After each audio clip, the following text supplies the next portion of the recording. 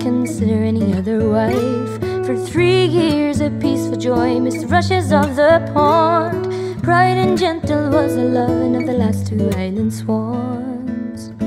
Their love was like a circle, no beginning and no end. With his lady by his side, a treasure and best friend.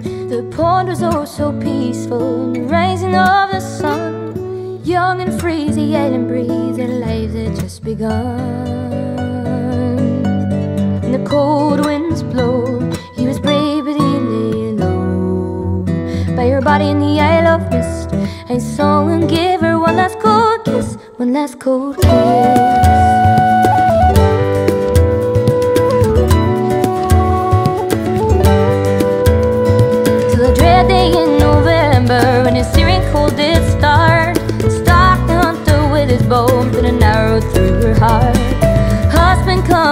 say Let your feathers warm my pain.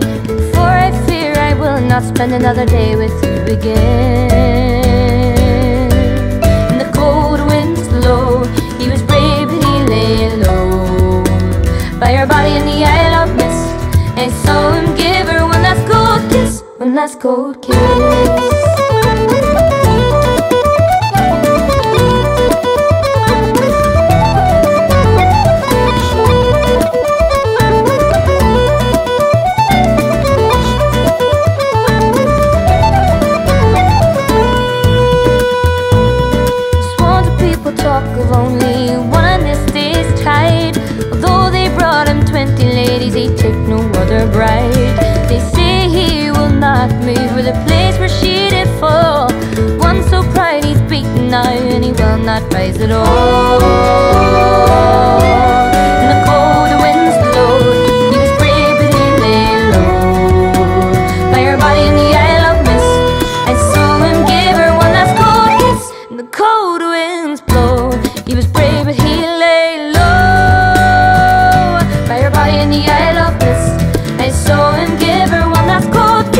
of Mist,